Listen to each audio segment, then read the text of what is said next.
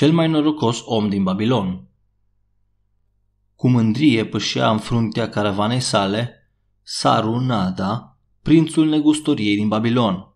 Îi plăceau veșmintele scumpe și purta mantii rafinate de o frumusețe rară. Îi plăceau animalele falnice și călărea cu trufie pe armăsarul lui arab. Uitându-te la el, ți-ai fi dat greu seama de anii ce-ai purta pe umeri. Și cu siguranță nu ți-ai fi dat seama de furtuna ce-i tulbura sufletul.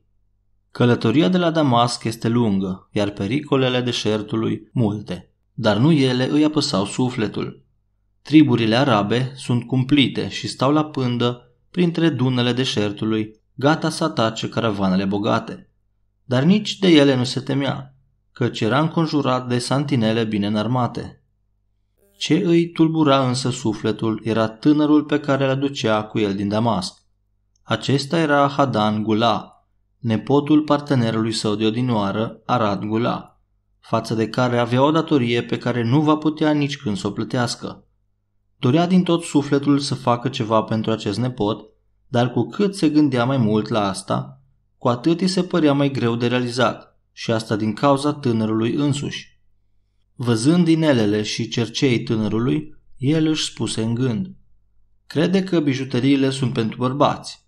Cu toate acestea, are chipul dârz al bunicului său. Dar bunicul lui nu purta veșminte atât de țipătoare. Sper să-l pot ajuta să pornească de la ceva în viață și să scape de mizeria în care l-a adus tatăl lui nesăbuit. Hadan Gula îi întrerupse șirul gândurilor spunând De ce muncești atât de mult însoțindu-ți caravana pe drumurile ei lungi și periculoase? De ce nu te bucuri niciodată de plăcerile vieții? Saru Nada îi răspunsese cu un zâmbet. Să mă bucur de plăcerile vieții? repetă el. Ce ai face ca să te bucuri de plăcerile vieții dacă ai fi în locul lui Saru Nada? Dacă aș fi bogat ca tine, aș trăi ca un prinț. N-aș străbate niciodată ținuturile arzătoare ale deșertului aș cheltui șechelii imediat ce mi-ar intra în pungă. Aș purta veșmintele cele mai scumpe și bijuteriile cele mai rare. Aceasta este viața pe care mi-o doresc, o viață care merită într-adevăr să fie trăită. Izbucniră amândoi în râs. Bunicul tău nu purta bijuterii, spuse Sarunada, fără să se gândească. Apoi, continuă el pe un ton vesel, nu ți-ai face puțin timp și pentru muncă? Munca este destinată sclavilor, răspunse Hadan Gula. Sarunada își mușcă buzele, dar nu mai scoase niciun cuvânt, călărind în tăcere până când ajunseră la un povârniș. Aici, el trase hățurile calului și, arătând valea cea verde ce se zărea în depărtare, spuse Iată valea. Dacă privești în depărtare, vezi zidurile Babilonului. Turnul pe care îl vezi acolo este templul din Bel. Dacă ai privire ageră, poți chiar să vezi fumul ieșind de la focul etern ce arde mereu în turn. Așadar, acesta este Babilonul. Mi-am dorit mereu să văd orașul cel mai bogat din lume, spuse Hadangula. Babilonul, izvorul averii uriașa bunicului. O, dacă ar mai trăi, n-am mai fi atât de strâmtorați. De ce îți dorești ca spiritul lui să mai bântuie pe pământ când timpul ce a fost dat să-l petreacă aici s-a scurs deja? Tu și tatăl tău puteți la fel de bine să continuați ce a început el. Dar, vai, niciunul dintre noi nu a moștenit talentul lui. Nici eu, nici tata nu cunoaștem secretul pe care îl folosea pentru a trage șechelii de aur. Sarunada nu spuse nimic, ci dădu bice cailor, coborând cu grijă coasta ce ducea spre Valea Babilonului. La scurt timp, în urmă caravana învăluită într-un praf roșiatic. Puțin mai târziu, ajunseră în oraș și se îndreptară spre sud, trecând printre grădinile și câmpurile irigate ale țăranilor. Trei bătrâni care arau pe un câmp îi atraseră atenția lui Sarunada. Chipurile lor îi se păreau cunoscute, ce ciudat. Nu se poate să treci pe lângă un câmp după o absență de 40 de ani și să descoperi că aceiași oameni îl ară. Dar o voce din lăuntrul său îi spunea că sunt aceiași. Unul dintre ei ținea de coarnele plugului părând să depună un efort covârșitor, în timp ce ceilalți doi mergeau cu greu pe lângă boi înhămați la plug. 40 de ani în urmă, el îi invidiase pe acești oameni. Cu câtă bucurie ar fi făcut schimb de soartă cu ei. Dar ce diferență era acum între ei și acești oameni? Privi înapoi cu mândrie la caravana sa bogată, la cămilele și la măgarii săi, animale alese pe sprânceană, ce cărau în spinare bunuri de preț aduse tocmai din Damasc, și toate erau a lui. El îi arătă pe acei trei țărani spunând, ei are același câmp pe care îl erau și acum 40 de ani. Așa se pare, dar de ce crezi că sunt aceiași plugari? I-am văzut și atunci, răspunse Sarunada. Amintirile îi invadară mintea și sufletul. De ce nu putea să îngroape trecutul odată pentru totdeauna și să se bucure de prezent? Atunci i-a apărut în fața ochilor chipul zâmbitor al lui Arad Gula, zidul ce se formase între el și tânărul cinic, alături de care călătoria, se nărui într-o clipă. Dar cum îl putea ajuta pe acest tânăr împodobit din cap până în picioare cu bijuterii, ce nutria numai gânduri facile despre cum să-și cheltuiască banii? Avea ce oferi de lucru oamenilor dorni să muncească, dar nu le putea oferi nimic celor care se considerau mai presus de muncă. Dar îi era dator lui Arad Gula și trebuia să facă ceva în această privință și asta din toată inima. Tot ce făcuseră împreună, el și Arad Gula o făcuseră cu dăruire. Mintea sa a conceput pe loc un plan. Avea să întâmpine obstacole. Trebuia să se gândească și la familia sa, dar și la statutul său. Avea să fie un plan crud ce implica multă suferință, dar pentru că era un om de acțiune, înlătură pe loc aceste obstacole și se hotărâ să treacă imediat la treabă. Te-ar interesa să afli cum am construit eu și bunicul tău parteneriatul ce ne-a conferit bogăția visată? întrebă el. De ce nu spui cum ați reușit să adunați atâtea șechel de aur? Asta e tot ce vreau să știu, ripostă tânărul. Saruna da, îl ignoră și își continuă ideea. Începuturile noastre se leagă de acești oameni care ară. Eram tânăr cum ești tu acum. Pe când coloana de oameni în care mă aflam și eu se apropia de ei, bătrânul țăran Megiddo critica modul neglijent în care aceștia arau. Megiddo era prins cu lanțuri alături de mine. Privește pe și aceștia protestă el. Cel care ține de coarnele plugului nu face niciun efort ca să apese pe plug pentru ca acesta să pătrundă cât mai adânc în pământ. Iar boii, în loc să facă brazdă drepte, o iau pe arătură și asta pentru că nu sunt bine îndrumați. Cum credeai că vor obține o recoltă bogată dacă nu ară cum trebuie? Ai spus cumva că Megiddo era prins cu lanțuri alături de tine? întrebă surprins Hadangula. Da, Eram legați cu lanțuri de bronz în jurul gâtului și de picioare. Lângă el era Zadabo, hoțul de oi. Îl cunoscusem în Haroun. La capătul șirului de oameni se afla un om pe care noi l-am botezat piratul pentru că nu ne spusese cum îl cheamă. Bănuiam că era marinar datorită tatuajului pe care îl avea pe piept, reprezentând doi șerpi încolăciți, tatuaj ce era realizat în maniera marinarilor. Eram legați în așa fel încât să formăm rânduri de câte patru oameni. Ai purtat lanțuri ca sclavii?" întrebă Hadangula, fără să vină să creadă ce auzea. Nu ți-a spus bunicul tău că am fost cândva sclav? Vorbea adesea de tine, dar niciodată nu a pomenit ceva despre asta. Era un om căruia ai putea împărtăși cele mai tainice secrete. Și în tine pot avea încredere, nu-i așa?" spuse Sarun Ada, privindu-l fix în ochi. Voi păstra tăcerea precum un mormânt, dar sunt uimit de tot ce îmi spui. Cum ai ajuns să fii sclav? Oricine poate ajunge sclav, răspunse Sarunada, dând din numeri. Jocurile de noroc și berea din orzi au fost cele care mi-au distrus viața. Am fost victima imprudențelor comise de fratele meu. Într-o ceartă stupidă, el și-a ucis prietenul. Tata, în disperarea lui de a-l salva pe fratele meu de pedeapsa care l-aștepta, m-a amanetat văduvei prietenului ucis de fratele meu. Când tata nu a putut să adune suma necesară eliberării mele, ea, în dorința de răzbunare, m-a vândut negustorului de sclavi. Ce rușine și nedreptate ți-a fost dat să înduri, protestă Hadangula. Dar spune cum ai ajuns să-ți recapeți libertatea? Vom ajunge și la asta, dar trebuie să luăm lucrurile pe rând. Așadar, pe când treceam pe lângă ei, plugarii au început să ne ia în bagiocură. Unul dintre ei își scoase pălăria zdremțuită și, făcând o plecăciune în fața noastră, ne strigă. Bine ați venit în Babilon, oaspeți ai regelui. El vă așteaptă pe zidurile orașului, unde a încins în cinstea voastră un ospăț fără de seamăn, bogat în cărămizi de lut și supă de ceapă. Se necară apoi cu toții de râs. Piratul dădu frâu liber mâniei care îl înăbușea și începu să înjură din tot sufletul. La ce s-au referit când au spus că regele ne așteaptă pe ziduri? L-am întrebat eu. La zidurile orașului spre care ne îndreptăm acum, unde vom căra cărămizi până când nu vom mai putea. Poate că pentru asta vom fi îndemnați cu biciul, dar nu va fi cazul meu, căci îi voi omorâ eu primul. Atunci, Megiddo o glăsui. Nu mi se pare că are vreun sens ca stăpânii să-și bată sclavii harnici până când aceștia își dau ultima suflare. Stăpânii îi apreciază pe sclavii muncitori și îi tratează cu blândețe. Dar cine vrea să muncească până la ultima suflare? întrebă Zabado.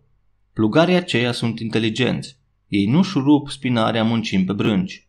Doar lasă impresia că fac acest lucru. Nu poți să scapi de pedeapsa ce ți se cuvine dacă te eschivezi de la muncă, protestă Megiddo. Dacă ai un hectar de pământ, atunci nu ți-ai irosi ziua de pomană, iar stăpânul tău este mulțumit de munca ta. Dar dacă ai doar jumătate de hectar, atunci înseamnă că te eschivezi de la muncă. Eu nu mă eschivez. Mie îmi place să muncesc și îmi place să fac o treabă cât mai bună, căci munca este cel mai bun prieten al meu. Ea mi-a oferit lucrurile cele mai valoroase pe care le-am avut în viața mea, gospodăria, cirezile de vaci, recoltele, totul. Da, și unde sunt acum toate aceste lucruri de valoare? întrebă Zabado în batjocură. Cred că faci o treabă mult mai bună dacă știi cum să te schivezi de la muncă. Fiți atenți ce va face Zabado când vom ajunge la ziduri. El va fi cel care va căra burdufurile cu apă sau va împleti oricare altă sarcină la fel de ușoară, în timp ce voi ceilalți vă veți frânge spinarea cărând cărămizi. Spunând acestea, el râse în maniera sa prostească. O spaimă cumplită puse stăpânire pe mine noaptea aceea, încât n-am putut deloc să dorm. M-am apropiat cât am putut de mult de paznicul meu, iar când toți ceilalți au adormit, l-am strigat pe Godoso, care făcea de strajă în seara aceea. Era prototipul tâlharului arab, care, dacă te jăfuia de punga cu galbeni, considera că trebuie să stai și gâtul. Spune-mi, Godoso, l-am întrebat eu în șoaptă, când vom ajunge în Babilon, vom trudi la ridicarea zidurilor orașului? De ce vrei să știi? întrebă el suspicios. Chiar nu înțelegi? I-am spus eu pe un ton rugător. Sunt tânăr, vreau să trăiesc. Nu vreau să muncesc până la epuizare sau să fiu bătut până îmi voi da ultima suflare pe zidurile acelea. Nu există nicio șansă să fiu vândut unui stăpân cu suflet bun? Îți voi spune ceva, îmi șopti el apoi. Ești un individ liniștit care nu i-a creat probleme lui Godoso.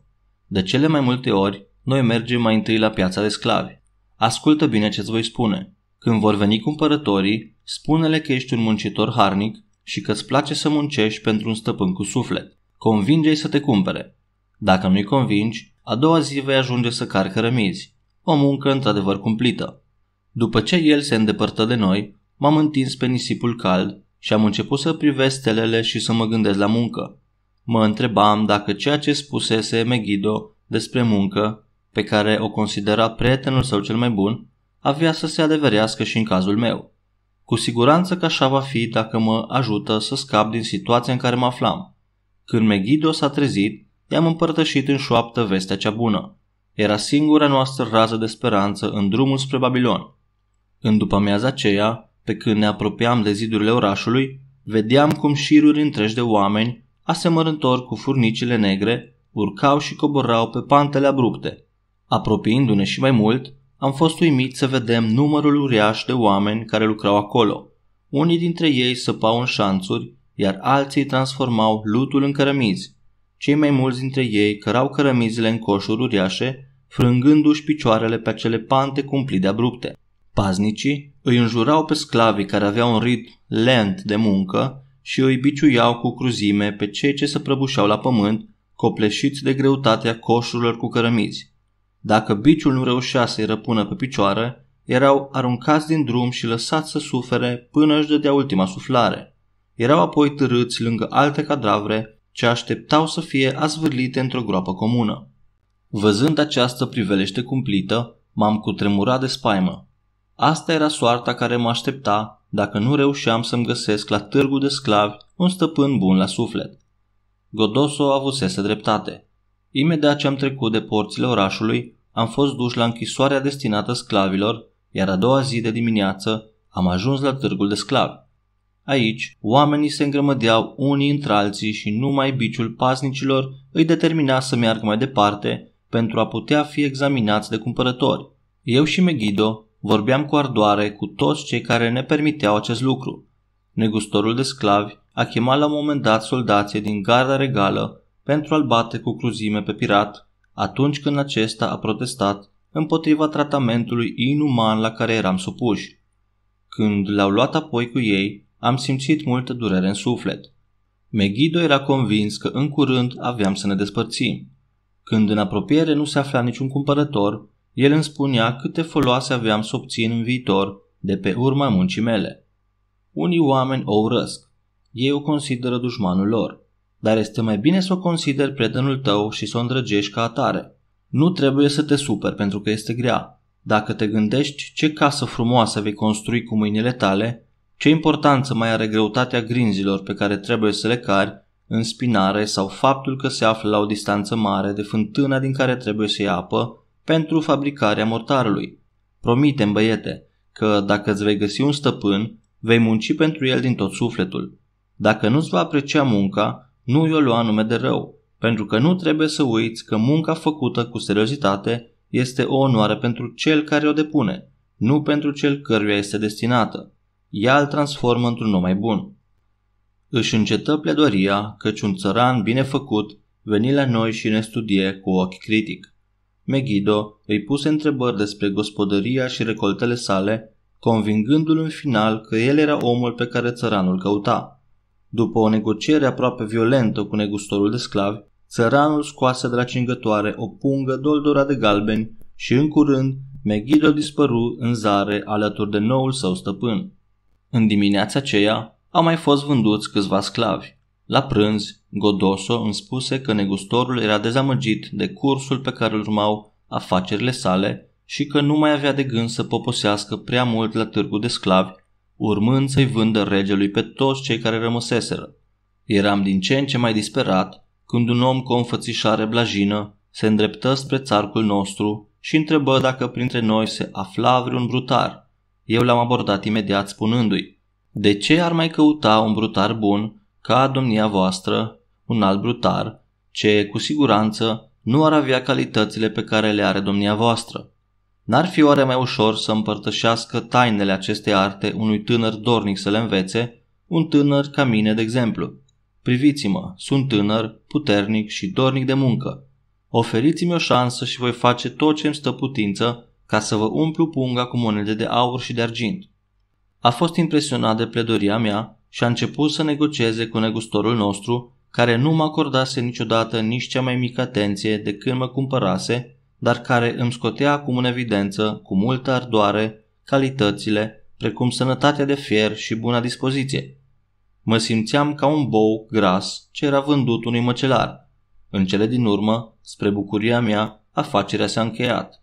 Mi-am urmat apoi stăpânul, gândindu-mă că sunt cel mai norocos om din Babilon. Am îndrăgit pe loc noul meu cămin.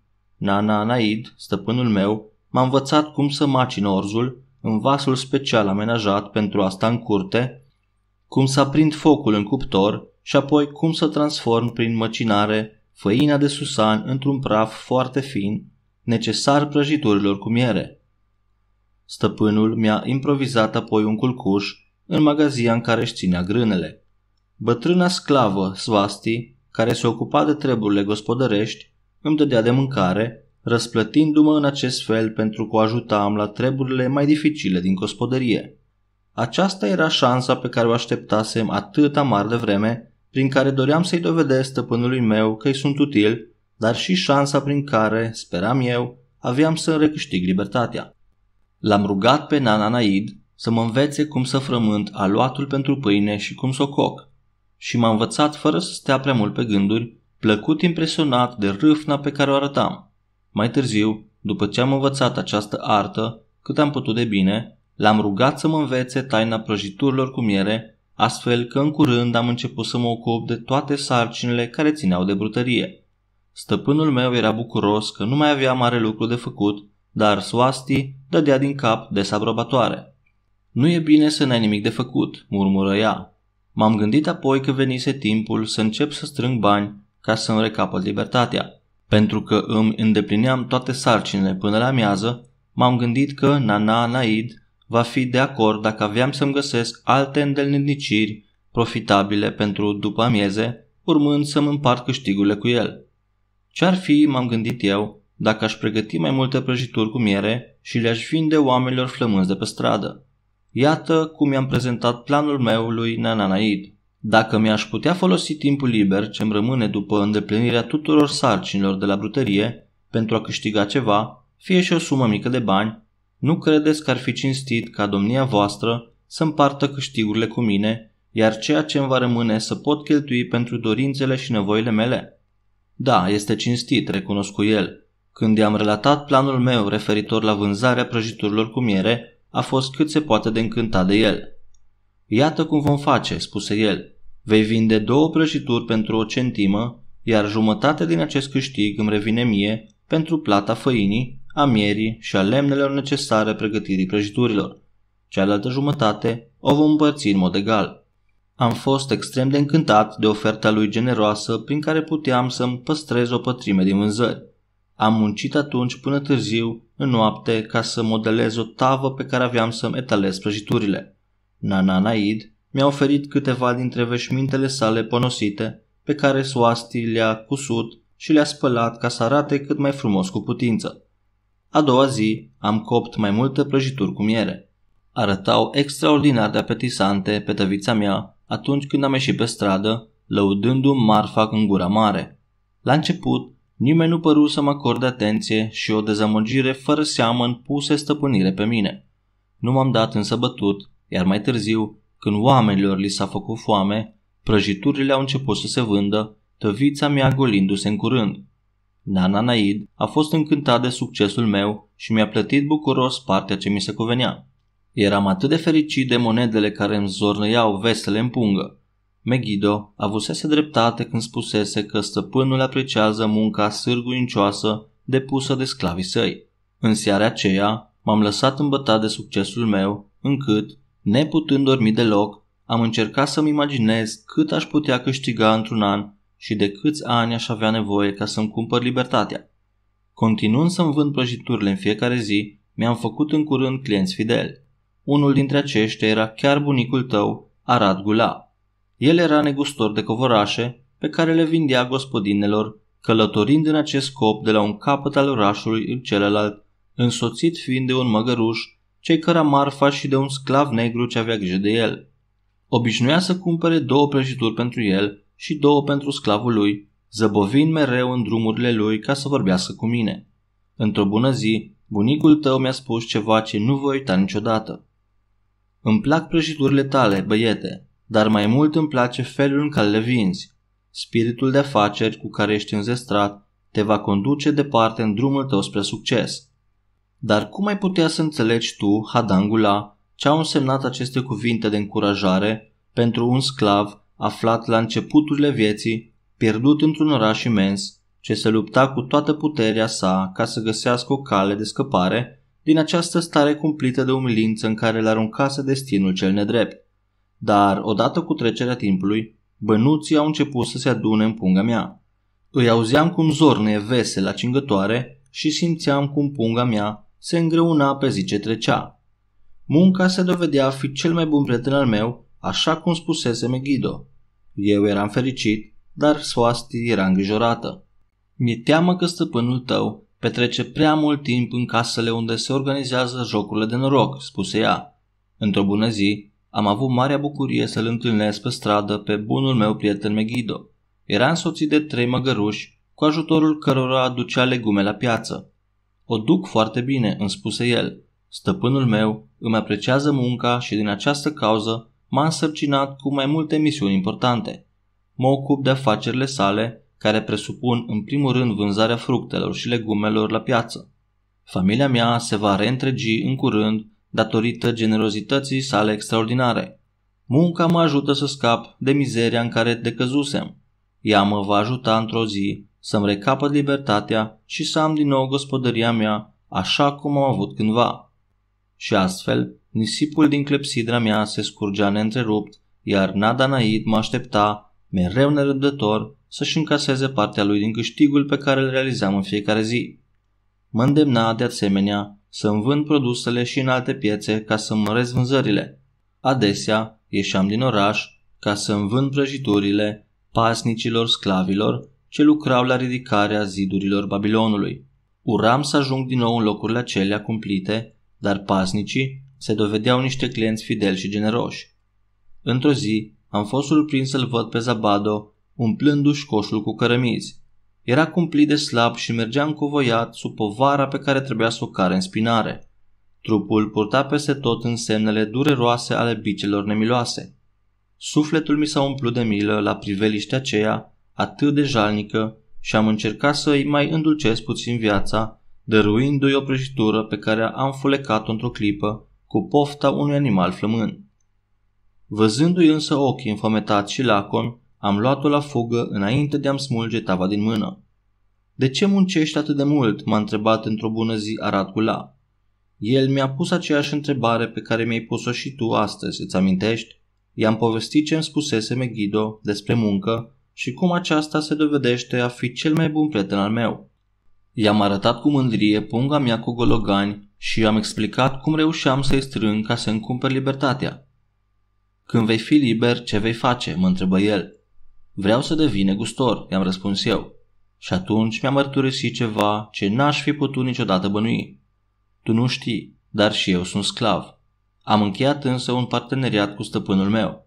Oprește-te, strigă Hadangula. Nu vreau să ascult niște minciuni care nu fac altceva decât să îmi defăimeze bunicul.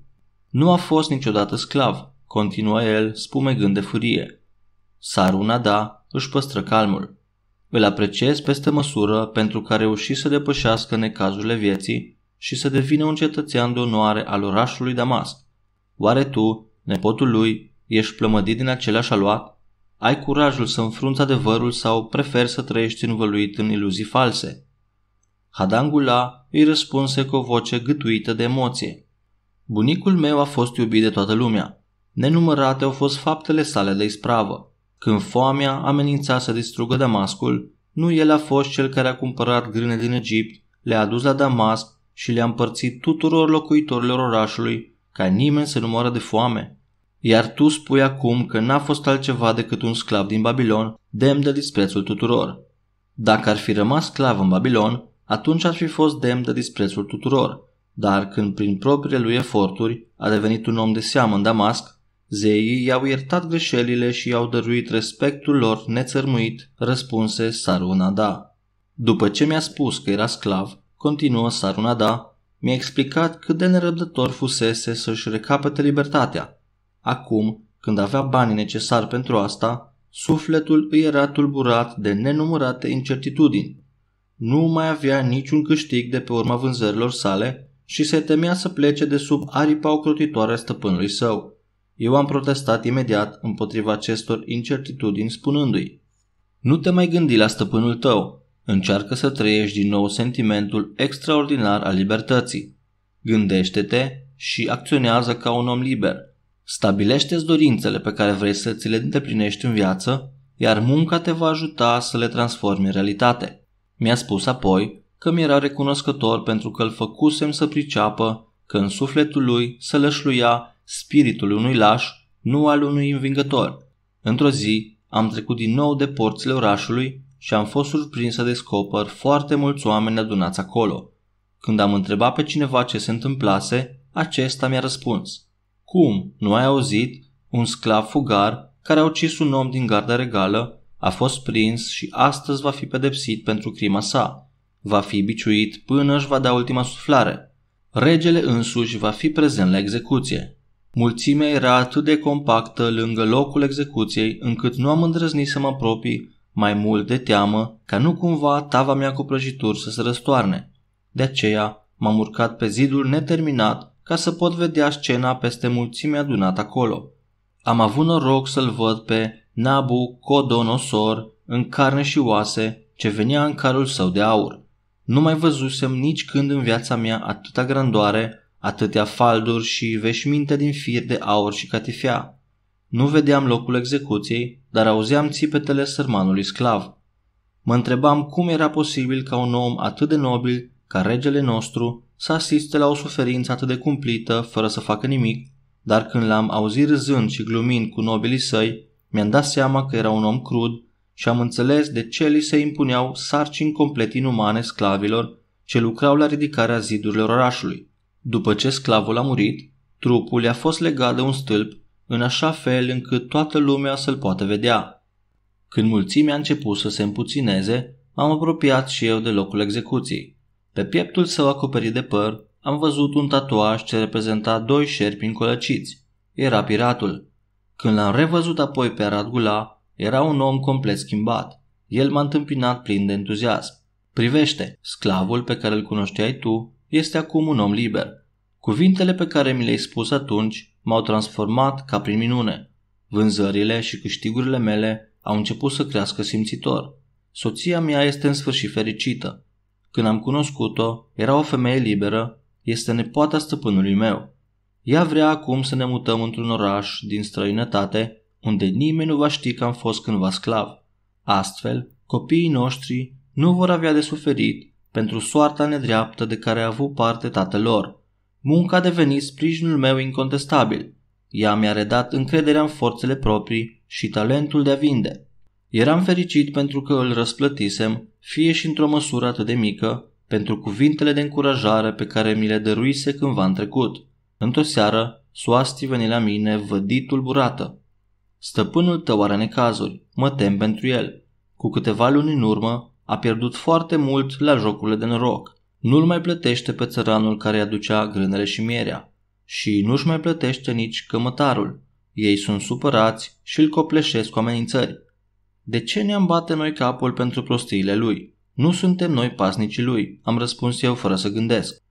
Tinere naiv, tu chiar nu înțelegi.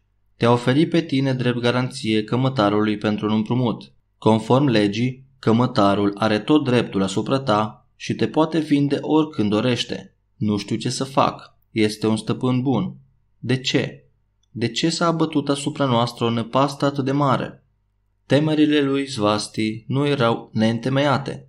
A doua zi, de dimineață, în timp ce îmi îndeplineam sarcinile la brutărie, am primit vizita cămătarului, ce era însoțit de un om căruia el îi spunea Sasi. Acest om a studiat din cap până în picioare și a spus că mă încadram în cerințele sale. Cămătarul nu mai așteaptă întoarcerea stăpânului meu și îi spune lui Svasti să-i transmită acestuia că mă luase cu el. Având doar hainele de pe mine și punga cu galben bine ascunsă la cingătoare, am fost răpit pe neașteptate de la sarcinile mele neterminate. Speranțele mi-au fost astfel complet năruite, la fel cum o furtună puternică smulge un copac din rădăcină și le aruncă în talazurile mânioase ale mării înspumate. Jocurile de noroc și berea din orz mi-au distrus din nou viața. Sasi era un om grosolan și morocănos. Pe când mă conducea prin oraș, am încercat să-i povestesc despre munca pe care o făceam în slujba lui Nananaid și am încheiat spunându-i că speram să fac o treabă bună și pentru el. Dar răspunsul pe care mi l-a dat nu mi-a oferit prea multe speranțe. Nu-mi place munca asta. Nici stăpânului meu nu-i place. Regele i-a spus să mă trimită să construiesc o parte din Marele Canal. Stăpânul i-a spus lui Sasi să cumpere cât mai mulți sclavi, să muncească mult și să termine treaba cât mai repede. Dar cum pot să termin o treabă ca asta atât de repede? Imaginează-ți un deșert arid, unde nu există copaci, ci doar niște arbuști pitici, care să te ferească de razele ucigătoare ale soarelui fierbinte, ce ne încălzea atât de tare apa din burdufuri, încât nu o mai puteai bea. Apoi imaginează-ți rânduri întregi de oameni care coboară în gropi adânc săpate ca să râme ca viermi, scoțând din zori până în seară coșuri pline cu noroi și mizerie. Completează-ți acest tablou cu felul în care ni se dădea de mâncare, mâncam dintr-o albie comună ca și când eram niște porci. Nu aveam nici corturi și nici paie pe care să dormim. Acestea erau noile condiții de trai pe care mi le rezervase destinul. Îmi îngropase în pungă cu galben într-un loc numai de mine știut, întrebându-mă dacă aveam să mai dezglob vreodată.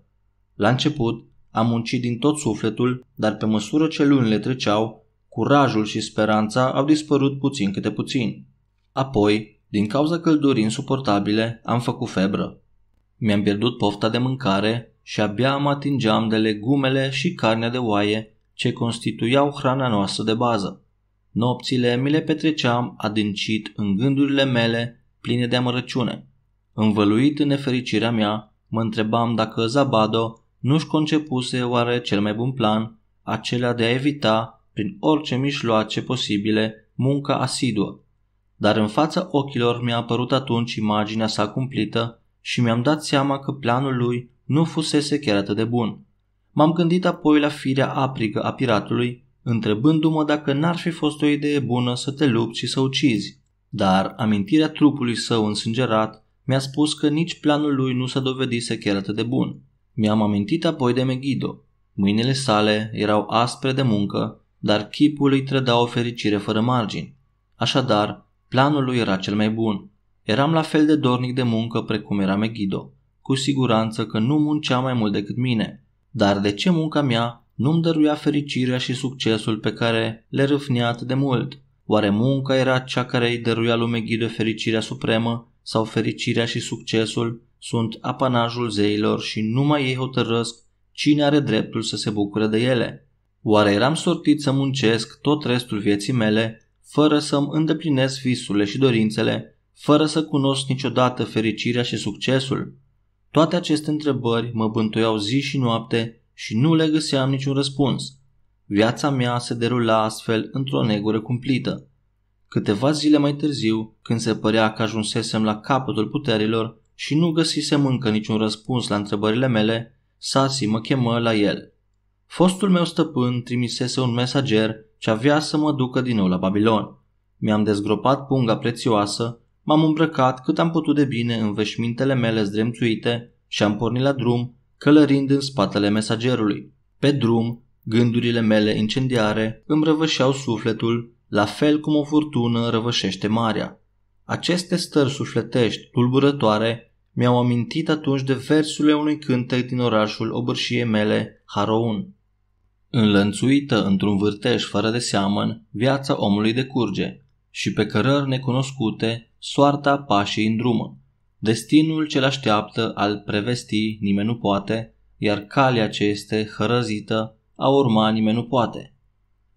Îmi era oare hărăzit să îndur pedepse pentru nu știu ce motive? Ce nenorociri și dezamăgiri îmi mai rezervaseră oare zei? Când am intrat în curtea casei stăpânului meu, imaginează ce mare mi-a fost mirarea când l-am văzut pe Arad Gula așteptându-mă acolo. El m-a ajutat să descalec și m-a îmbrățișat cu dragostea pe care i-ar fi oferit-o unui frate pierdut și regăsit. L-aș fi urmat cu credința unui sclav, dar nu m-a lăsat să fac acest lucru. M-a luat în schimb în brațe spunându-mi Te-am căutat peste tot. Când deja am pierdusem speranța, am întâlnit-o pe Svasti, iar ea mi-a povestit despre cămătarul care te-a cumpărat. Acesta mi-a spus că te vânduse unui stăpân de origine nobilă. M-am târguit mult cu noul tău stăpân și am plătit o sumă revoltător de mare pentru tine, dar a meritat efortul. Filozofia ta de viață și spiritul tău întreprinzător au constituit o sursă de inspirație pentru succesul meu. Este filozofia de viață a lui Megiddo, nu a mea, l-am întrerupt eu. A ta și a lui Megiddo. Mulțumită vouă amândurora, mergem acum la Damasc și am nevoie de un partener pentru negoțurile mele. Căci vezi tu, exclamă el, din acest moment ești un om liber. Spunând acestea, scoase de sub tunică tăblița de argilă ce menționa statutul meu de sclav, o ridică deasupra capului și o aruncă cu putere, spărgând-o în mii de bucățele de pietre de pe drum. El le calcă apoi în picioare până când se alese praful. Ochii mi se umplură de lacrimi. Mi-am dat atunci seama că eram cel mai norocos om din Babilon. Vezi, așadar, că în vremurile de restriște, munca s-a dovedit cel mai bun prieten al meu.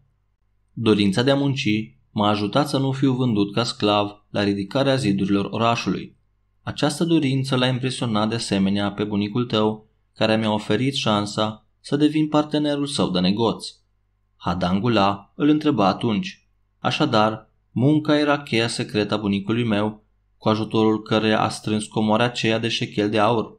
Era singura cheie pe care o avea la dispoziție, răspunse Sarunada. Bunicului tău îi plăcea să muncească. Zeii i-au apreciat eforturile și le-au răsplătit cu generozitate. Încep să înțeleg acum, spuse Hadangula gânditor. Munca este cea care a adus cei mai mulți prieteni, oameni care au știut să-i admire sigurința și succesul pe care l-au obținut de pe urma muncii sale. Munca este cea care i-a conferit distințiile de care se bucura în Damasc. Munca este cea care i-a oferit toate lucrurile pe care le doresc și eu la rândul meu. Și eu care credeam că munca este destinată numai sclavilor. Te poți bucura de foarte multe plăceri în viață, spuse Sarunada, și fiecare și are locul ei bine definit. Îmi pare bine că munca nu este destinată numai sclavilor, căci dacă ar fi așa, nu m-aș mai bucura de cea mai mare plăcere a mea. Multe lucruri îmi plac în viață, dar nimic nu se compară cu munca. Sarunada și Hadangula călăreau sub umbra binefăcătoare a zidurilor înalte, îndreptându-se spre porțile masive din bronz ale Babilonului. La apropierea lor, străjerii luară poziție de drepți și îi salutară pe unul dintre cei mai respectați cetățeni ai orașului. Cu o trufie demnă de un rege, Sarunada își conduce caravana printre porțile masive, străbătând apoi străzile orașului. Am sperat dintotdeauna să-i semăn bunicului meu, îi mărturisi Hadangula, dar n-am știut niciodată ce fel de om era. Acum, tu mi-ai dezvăluit adevărata lui structură sufletească și pentru că în acest moment îl înțeleg cu adevărat, îl admir și mai mult și sunt din ce în ce mai hotărât să-i calc pe urme. Mi-e teamă că nu te voi putea nici când răsplăti pentru că mi-ai oferit cheia succesului tău. O voi folosi mereu de acum înainte. Voi îmbrăca acum haina umilinței pe care a îmbrăcat-o și el, veșmânt ce mi se potrivește mult mai bine decât toate bijuteriile și toate straiele scumpe din lume. Spunând acestea, Hadangula își scoase cercei din urechi și inele de pe degete. Punând apoi frâu calului, el rămase, în semn de respect, în urma conducătorului caravanei.